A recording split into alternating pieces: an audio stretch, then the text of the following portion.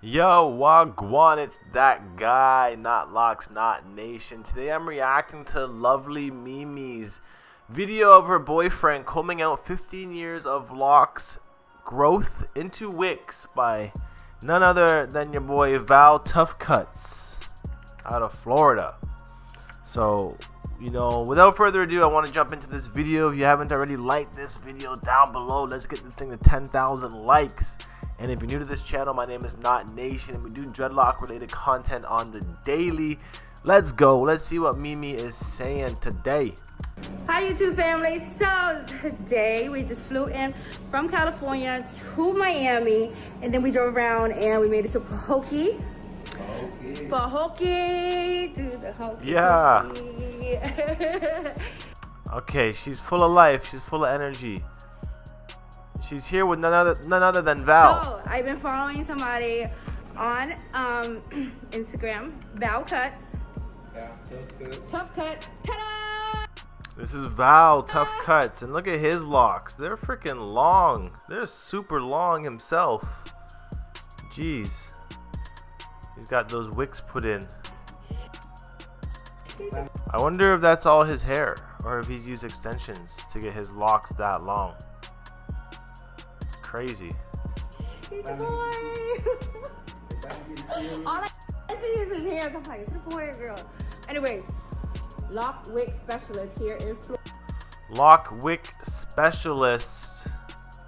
Yeah, he's got some mad lengthy locks. Holy shit, I didn't, know, I didn't even realize that he had dreadlocks himself. Florida, amazing, amazing work, Val um, senior work, senior transformation. I was like, okay, we have to pull up. We have to come all the way out here. Don't be specialized. Yes. Specialized injury. I was, I was looking. I was straight like, bro. little nappy. I can knock anything up. Anything. Yes. You got straight hair, kinky um, hair, straight amazing. cut Thing up. Anything. Yes. You got. So. I can I can tell by the integrity of his locks here that they're they're those light and fluffy wicks there is a difference in how mature dreads and wicks will feel. And wicks definitely feel a lot lighter. Straight hair, kinky um, hair, straight amazing. Amazing. And, and like no rubber bands, no threads. Nothing. Seems to be the ongoing promotion in Florida. No rubber bands, no threads. Essentially, people just using crochet hooks out there to make these wicks happen. Uh, I'm very interested to see here how Val moves about with these 15 year old locks to see how this transformation comes into play. Part them and combine them using what is it? No Pick, oh, no crochet needle. Crochet needle. I started googling and shit. So let's take a look at the integrity of his locks right now to see how they look and the, I, I'm just guessing the way that they would feel by the density of how they look and how they're dropping right now. You can see that some of these locks are coming in super flat. Definitely have been freeformed for 15 years. And what it looks like is that, you know, they look fine, actually. They look like they're really healthy. They look like a, little bit dry towards the scalp. But damn, 15 years of hair growth here? This is insane dedication. Now I wonder what it is that made him want to go about this transformation. Look at this. The locks are actually down to the freaking floor. That is insane. These are hair goals right here. So now they're removing the threads because you know back in the days we used to save dreads by threading it up that anymore. Wow, okay. So this guy has wrapped his hair in some threads over the years. It looks like to maybe combine them together at some point, but now there's going to be a lot of time spent taking this thread out of the hair, cutting it out. Look, teamwork makes the dream work. Look at y'all. And what I was surprised about watching this video was the team that he has assembled to put work into people's hair. I've never seen a loctician use a team of people to do dreadlocks. Mm-hmm. Go see some Driz. Where to next? Jacksonville? Oh yeah. So we can see that there's lots of thread in there. And that's the thing is like when thread is left in the locks like this, they start to mend and become one with the lock over time. So, you know, as, as fun as it might look to keep thread in your hair and all that, it is good to change it out every so often. Let the dreadlock breathe and then rethread them again so you, you don't have the same old gunky thread in your hair that potentially could hold moisture hold build up underneath those threads so it is important to change them No, you've been you've been showing up on explore page everywhere. Yeah, no, that's a good thing. I noticed. Mm-hmm. It's a circle when everybody come in, see my dude. Yeah, because we came all the way from California. Oh, really? Yeah, yeah. I thought you were down here for some reason. I don't know why you told me. crazy crazy length so just skipping forward a little bit let's see what we can find here in terms of action so yeah the thread in here originally was to to wick up and combine the locks into thicker pieces. And now we can see him using a razor blade to take the thread apart. Now this part is interesting because for all the thread that was used to combine this lock once we notice that the thread is taken out the lock isn't is yet not to be combined. It's still two separate dreads underneath the thread. So does threading really work and rubber bands really work in bending them together over time or is it just an illusion of an effect For real, think about it. They've been, they've been having it for 10 years, and then they were just about to cut it off, and then they found him. Yeah, but going to you was like plastic surgery. I was like, it's like getting your boobs done. It's like paying for your boobs. So this is kind of like, I would say this was a Congo at one point, and he's trying to seal up the split tails at the end. Uh, just notice all the work that's got to be put into this now, and I can only imagine how much this costs. Leave a leave a comment down below how much you think this whole procedure cost the man. My bet is fifteen hundred dollars. What nationality? Uh huh. Mexican. What'd you say? Mexicans, Mexicans? Mexicans. Chico boys. A lot of Mexicans in California too. Crazy.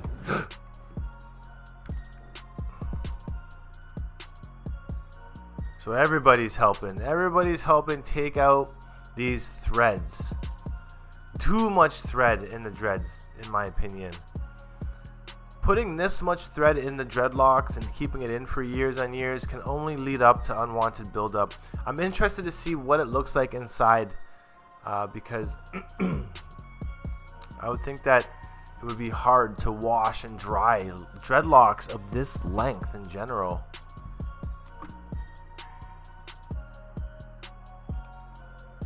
So here's a shot of him standing up. Dreads super long. Oh my god, these are like Damian Marley length. Right down to his calf. That is crazy. And then check out the new growth on his head. Seems to be a lot of frizzy hair going on. And looks like a hat has been worn quite a bit. Like it's a lot flatter up here than the volume at the back. It's a very interesting hairdo this guy's got going on. I'm interested to see how they clean up the roots right on the, on his scalp. Jeez. His locks are as long as are taller than her. oh my god. Look at all this thread and all this hair that they've chopped out. That is crazy to see how much they've they've let loose on this guy's head. So the next process here is a deep cleanse wash. Couldn't wait for this part. Mm-hmm.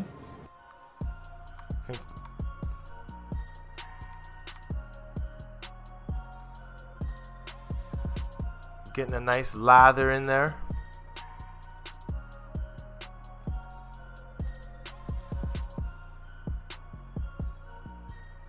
Crazy. Crazy face tats on this guy. His dreads looking a lot lighter in color. She's even helping washing as well.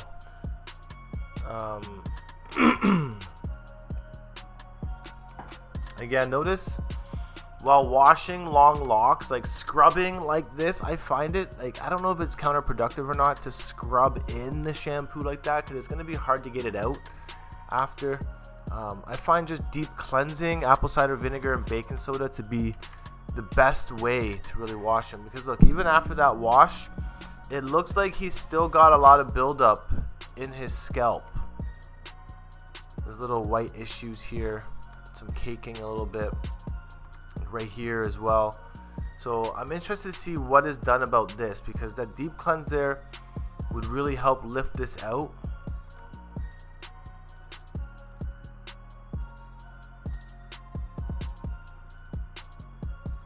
At this point, I'm guessing his hair is still wet.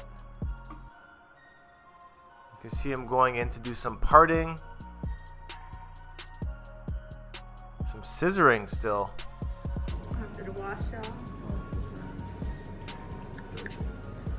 I'm just gonna keep the audio off on my reactions. It's always easier just to do some commentary overneath the video. So here we see him separating some locks out. He's twisting them together, I guess, to see which ones he wants to wick up.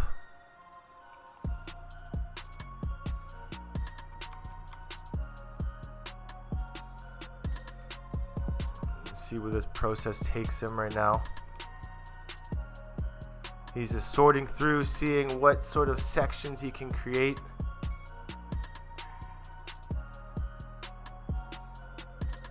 Ouch. They're using scissors to separate here. Okay. I mean, scissors are a real easy go-to for separation. I always feel a little bit guilty using scissors. So let's just see where this goes. I'm still wondering, what is this buildup in his hair still? Is it still shampoo that they've left in there? Why is it kind of white and cakey on a lot of these locks? Hours of operation for Val Tuff Cuts, Tuesday through Saturday. Five hours a day. Not bad. Val Tuff Cuts on Instagram. There's his number if you guys are interested in talking to Val. See what's up. He's becoming quite the known figure here on YouTube and Instagram. Oh, okay, here's where the action is. Oh my god. Oh man. Ugh. Why does this hurt? Why does this hurt me to see this? And the picking begins. That's where the art starts. Tick, tick, tick, tick, tick, tick, tick, tick, tick, tick, I'm confused here. Tick, tick, tick, tick, tick, tick, tick, tick, tick, tick. The man is jabbing the dread, jabbing it like this. Jab, jab, jab, jab, jab, jab. Essentially, just ripping everything inside and outside the lock to, together to form this new wick. I've been told that jabbing forcefully like this is not the correct way to crochet. When I did my wick myself right here, that's what I had done. I was essentially just jabbing my lock the whole time, and that's what changed the integrity of it. A lot of people saying that I did it too rough and you break up hairs when you do that. And on the same note, this is a real easy recipe to jab yourself in the finger and start bleeding. Really easy to do this. So it's, you got to be careful. He's wearing a glove so that doesn't happen. But like, that's crazy how he's just got everybody double hooked, triple hooked, jabbing away to get this done. What?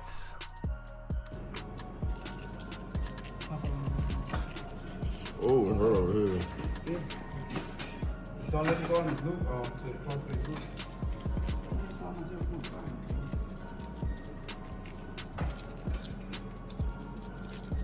That's crazy to me. That is crazy. Like, locticians, locticians watching this right now. I want to hear your input. I want to hear your input on this procedure and if this would be considered like proper or not. I don't know. You know, I'm not a loctician. I just grow freeform locks. Um, and I just learn from what I see here on the interwebs. But this procedure in itself, is it damaging or is it beneficial to the hair growth and the structure and the integrity and the strength of the locks? Just let me know in the comments below, please. You know who I'm talking to here? I'm talking to Val. I'm talking to Chrissa, Dreadlocks OXO. I'm talking to Chris McDread. I'm talking to Gunther out there. People, please let me know.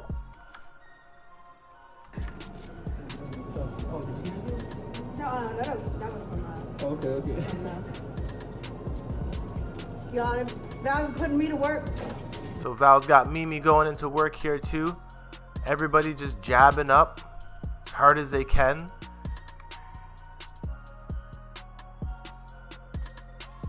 Crazy. Crazy.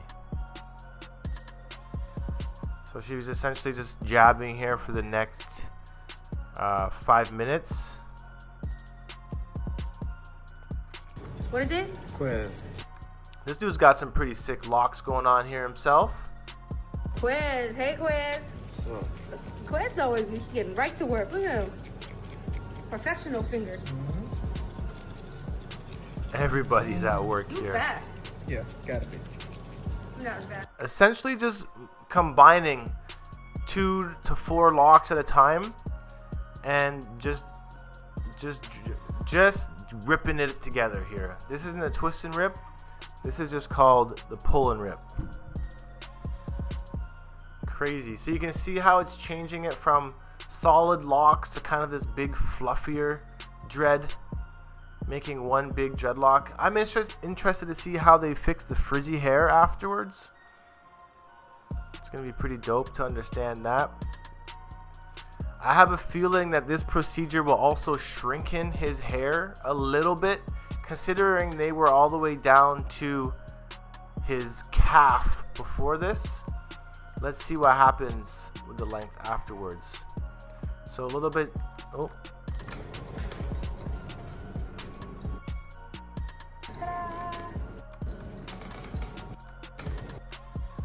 So looking at dude's shirt, you can see a lot of hair that has been uh, shedded from his head already.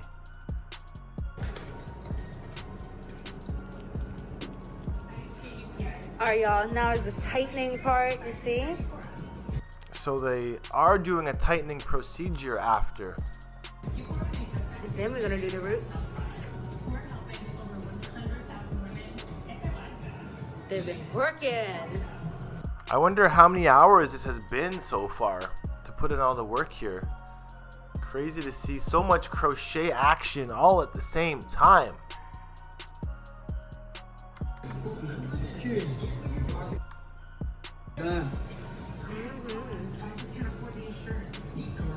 This tightens it up.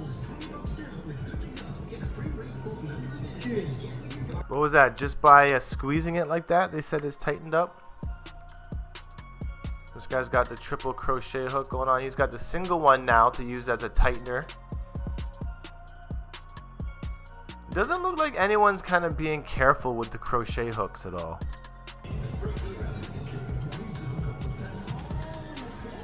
Definitely the longest wicks I've ever seen produced. The work.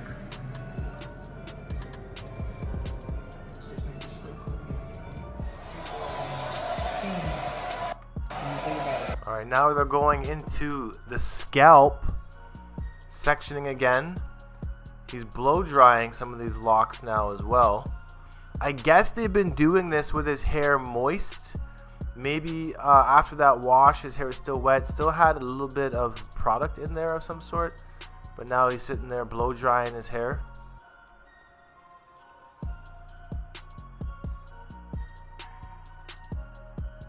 sectioning out his hair. To see what happens here at the root. No thread, no rubber bands. This is where we're to see the magic happen. He's taking in, first he's sectioning, and then he's to take in all the loose hair somehow and like kind of twist it into each lock.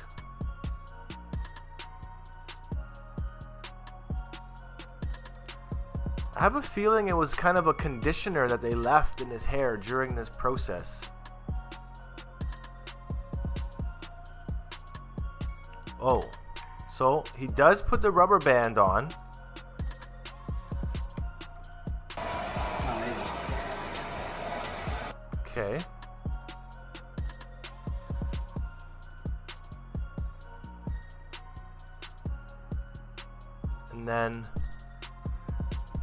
Rubber band. What's going on with the rubber band here? How do they, what do they do until they take that rubber band out? This is what I'm trying to understand. What is he going to do to get that rubber band out?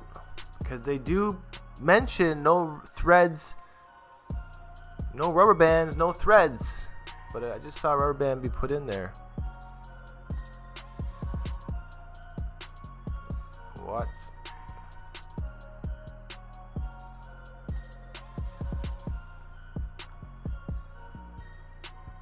Still with the crochet hooks. Still tightening up everything. I don't think he's going to show us what he does after the rubber band gets put in there, to be honest. But he is rubber banding all the roots together with all the, the, the loose hairs, with all the frizzy hair. And I have a feeling he does like some sort of twist to keep them at the roots. Unless he's used a gel to hold in place the frizzy hairs with the rubber band until he takes that rubber band out. But this is literally, literally the most in-depth video of Val doing a hair transformation. So it's very interesting to see this procedure with 100% transparency. A lot of locticians don't like to show their work. But in the age of 2021, information is abundant and you can kind of find information free anywhere now. So there is no need to hide your skill set. Let people know and let people understand. People will still come back to you because you are the professional. Another rubber band here going in.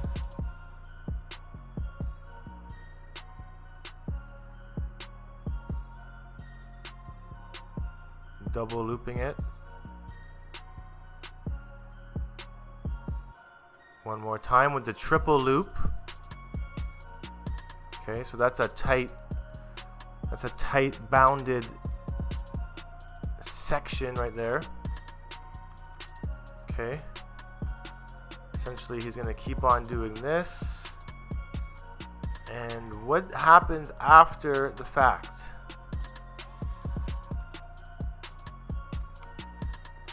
Okay, so here's here's the finished result. Let's see this finale here.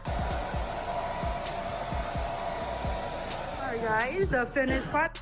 Stand up, babe.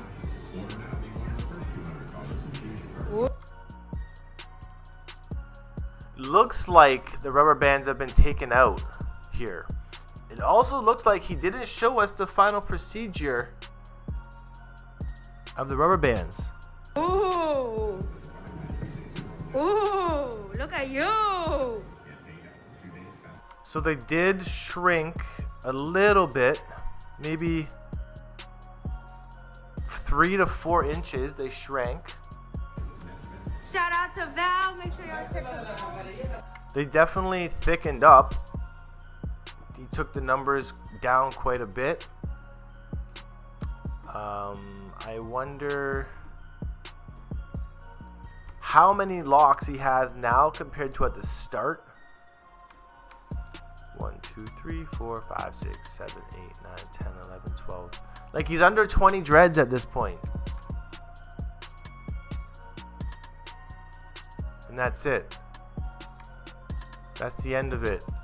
So under closer inspection, I'm just trying to figure out what happened after the rubber bands got put in. Because here, it looks like there's no rubber band here. It looks like this area has been crocheted with the loose hair. Um, can't tell if there's rubber bands like here and here still. It's really hard to, to tell like if there's rubber bands still on, on the roots. Maybe the rubber bands were just in there to secure them while the hair dried back up. But I guess he does hide his work a little bit. Um, notice the big sections.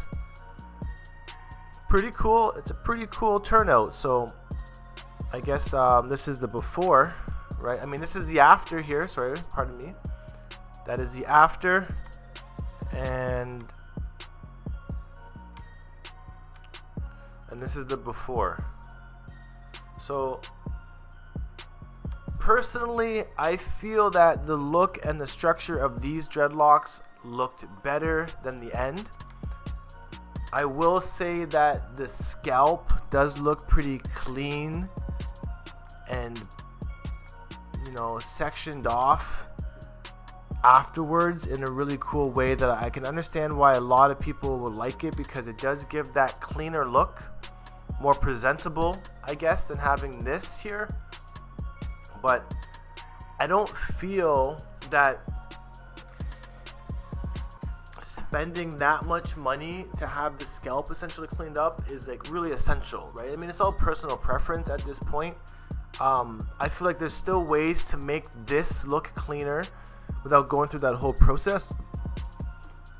So, but you know, in, in general, I'm sure he's really happy with the outcome with the results of his locks.